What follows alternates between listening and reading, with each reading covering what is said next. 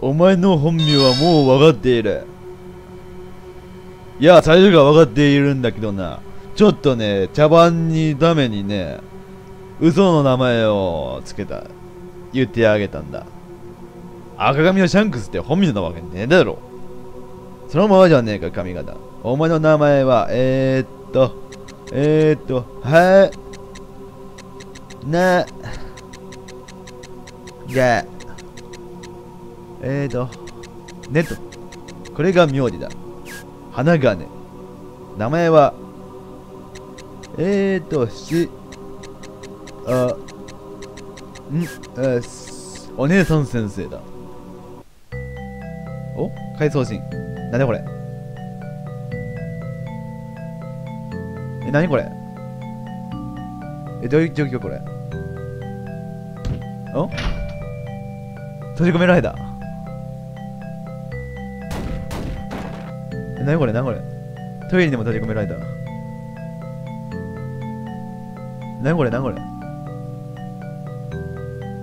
何があったんやあ、私、完全に髪結んでないお姉さん先生や。悪霊になる前の姿ね。どうしてこんなことになったのか話してくれないかな。屋上から落ちて、この学校で死んじゃったの。最後のやつもしかして自殺か、抑えて落ちたかのどっちなのかな？成仏ができなくって、学校にずっといることになったので最初はね私が自殺したってみんなが騒いでたわ。でもね月日が経つにつれてみんなが忘れていたの。そして最近になってオカルト研究部の人たちが私のことを調べたの。いじめられた過去あだ名名前全部知られたくなかった。だからね少しだけ脅かしてやめさせようと思ったの。でも逆に噂が広まっちゃった。新聞も作られて学校中まで噂が広まって広がってしまった。嫌だった。学校中のみんなが嫌だった。心が憎しみに支配された時に私は悪霊になったんだと思う。その後はあんまり覚えてないの。怒りのままに行動してたと思う。あなたたちにひどいことしちゃったみたいごめんなさい私たちこそ怪談話とかで盛り上がっちゃってごめんね。悪かったよ。私、本当は自殺じゃないの。みんなが思ってるだけでね。本当は違うの。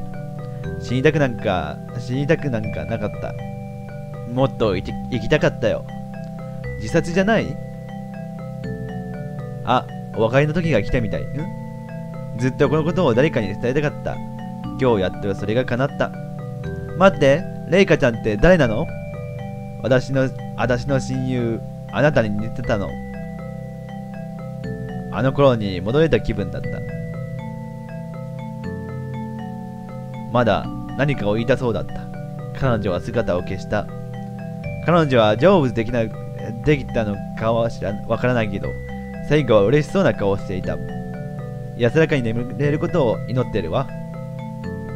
私たちも帰ろう。レンガが行動メンバーに加わります。お？もしかして今回最終回か？赤髪の音量が消えたし。ああ脱出時のあの黒い影が追いかけてくることもなく、イベントで出てきたわ。わ、もうこれ終わるぞ。最終回じゃん。二人とも助けに来てくれてありがとう。当たり前だろ。しかし遅くなっちまったな。帰りながら話そうぜ。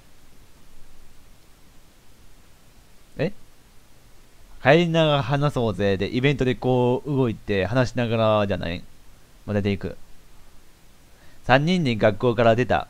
みんなが無事で本当に良かった。しかし、とんでもない一日だったな。血みのロッカーを見たときはマジで帰りたかったぜ。あれで驚かせ、驚かさ、驚かせて、私たちを学校から追い出そうとしてみて、してたみたいだね。それでも逃げなかったから追い追いかけ回されたわけか。でも、最後に話して分かったけど、悪い子じゃなかったよな。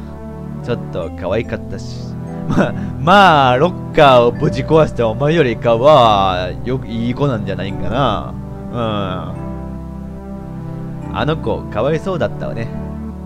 なあ、文化祭のお化け屋敷やめにしないか？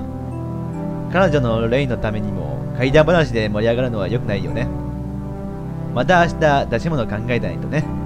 でもオカルト犬がいる限り彼女の怪談話なくならないんじゃないかな。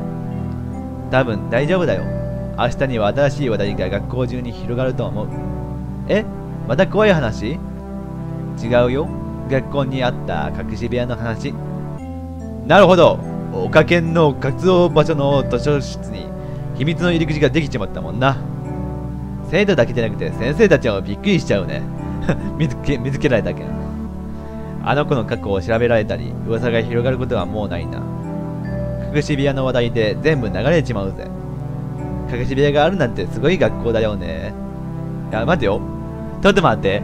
今思ったんやけどそれの前に先生方はロッカーぶち壊されたことに関しての話題になる話題が出てくるんちゃうん？いけるんかしゅうよ。上条さんよ。すごいよな。全部有利が見つけたぜ。俺には全然わからなかったよ。さすが有利頼りになるね。シュウもね鍵付きロッカーを開けたりしてくれたんだよ。壊してたけど。それだよ。先生多分まああの隠し部屋を見つけられたことにもちょっと戸惑うけどロッカー壊されたことの方がもっと もっと びっくりすると思うんやけどな。犯人名乗り出なさいってなるよ。そう俺も頼りになるぜ。あうちが見えてきた。スルーは悲しいぞ。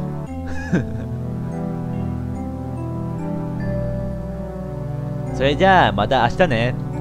おう早く寝るよ。寝ろよ。早く寝ろよ。また明日ね。3人はそれぞれの家に帰った。そしてまたいつもの日常に戻った。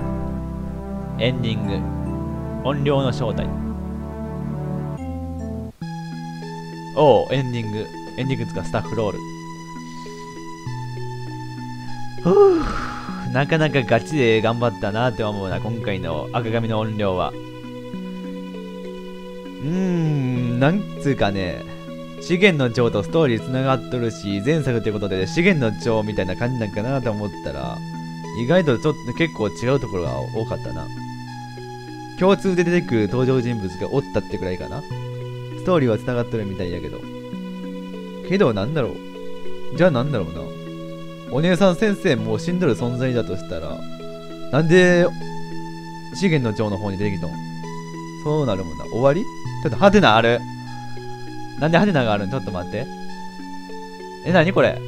なんかあるんかまだ？うん、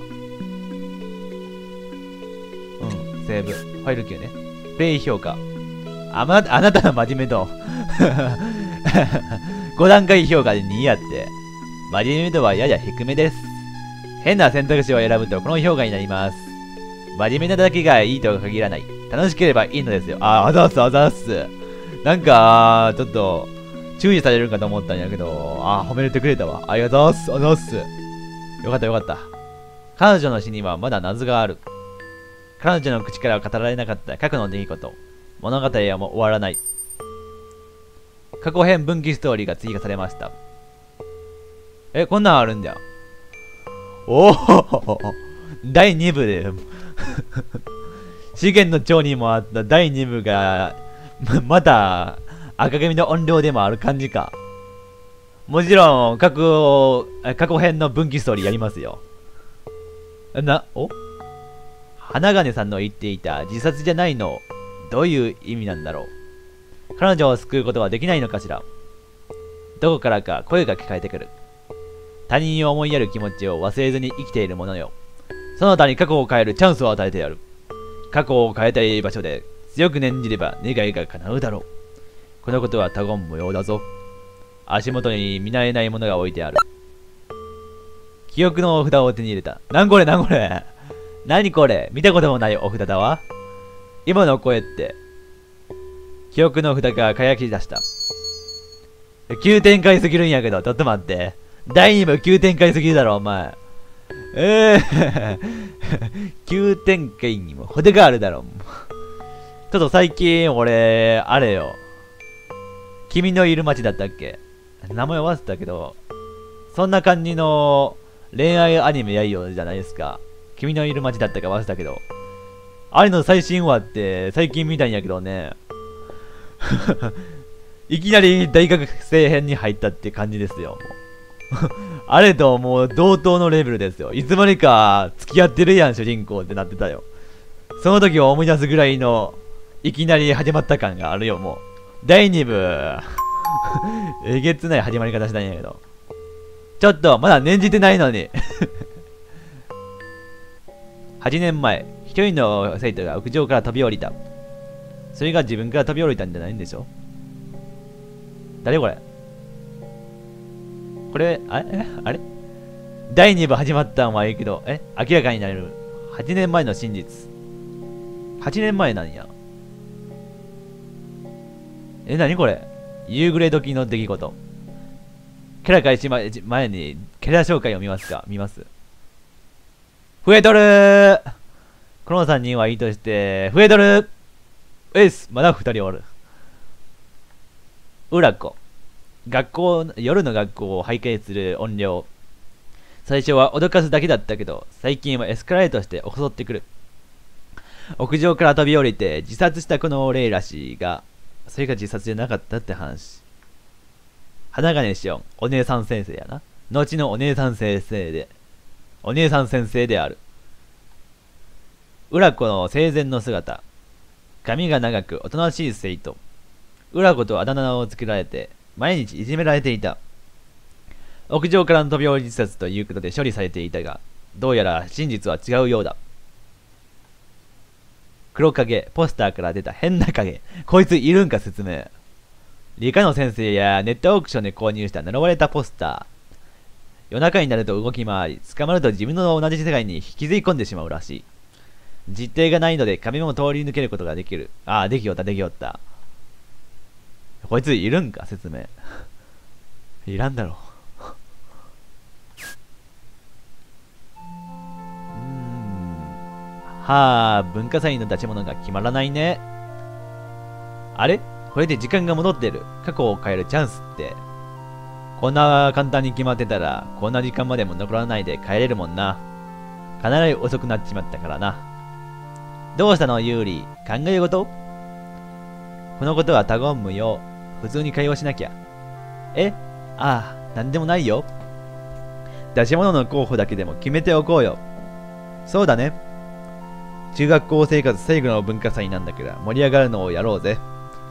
みんなが喜びそうなものってなんだろうお化け屋敷なんてどうだ？変な怪談話も流行ってるしな。お化け屋敷ね、やめた方がいいかもよ。あ、ちょっと、毎度恒例変なページが出てきたのパターンです。よう出てくるんだ、最近。そうだよ、やめた方がいいよ。二人して反対かよ。でもみんなはそういうの望んでるのかなそうだ。この暑い時期にヒヤッとするような出し物を待ってるぜ。うーん。それじゃあお化け屋敷を候補にして今日はもう帰ろうか。こんな感じでまあ過去と同じ感じになって、今日も暑いね。何か飲みたいな。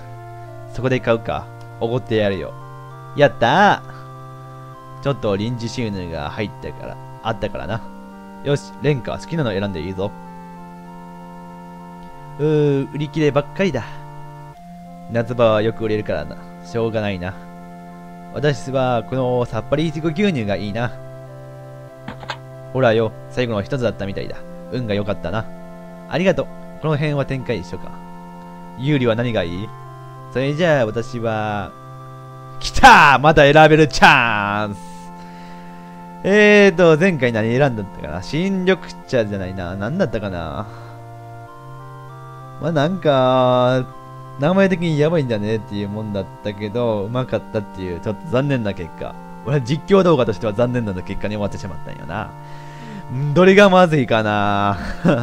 液体チーズ系リギ飲料とか、案外うまかった感がありそうないもんな。新緑茶とかそのままう、まうまそうな名前だけにやめといて。タカレモンかぶか、豚缶、豚汁、豚汁、タコレモン。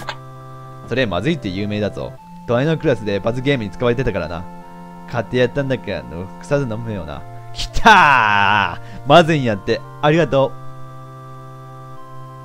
う。じゃあ、俺はこれっと。なんだこれ？どうしたの？買いたくもないのに変な飲み物出てきた。間違えて入ってる時たまにあるよね。ついてないな。こんなのいらねえよ。飲まんの？これ美味しい。いちご牛乳なんて余計に喉乾きそうだけどな。まずすっげえ ー、やったまずいやつ当てたったやったこら、吐くんじゃない。汚ねえな。吐いたんじゃ。そんなにまずかったんじゃ。二人とも飲んだか？シューは飲まないの？さっき出てきたやつ、これなんだよ。何？タコレモンソーダ、タコレモンサイダー？やだ、まずそう。そうだ、有利にやるよ。え、ちょっといらないってば。強引に渡された。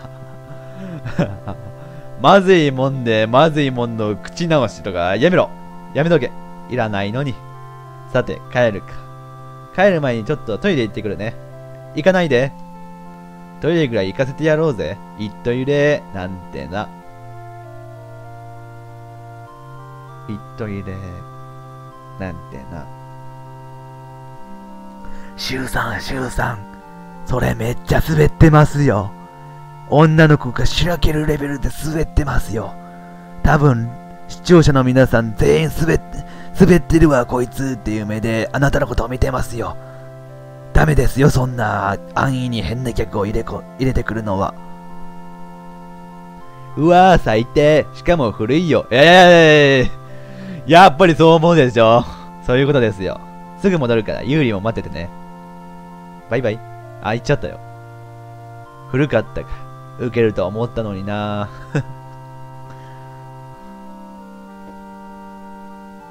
8分後。演歌遅いな。うん。ちょっと見てきてくれないか？俺が女子トイレに入るのはまずいからな。もちろん。よいしょ、レベファイル10。この辺は一緒か。うーん、どうしようかな。区切りもいいけん。まあ、今回はこの辺で終わりにしようかな。まさかの2周目っつうか、第2部が始まったよ。予想外やな、この、リリハウスさんのフリーゲーム。あ、リリハウスさんっていうのは、名前出してしまったけど、赤髪の音量、このゲームの作者であり、前にやった、えっ、ー、と、資源の女王の作者でもあります。今は3つ目のフリーゲーム作成中らしいんです。そっちにも期待。というわけでまあ今回はこの辺で、ご視聴ありがとうございました。週上げ。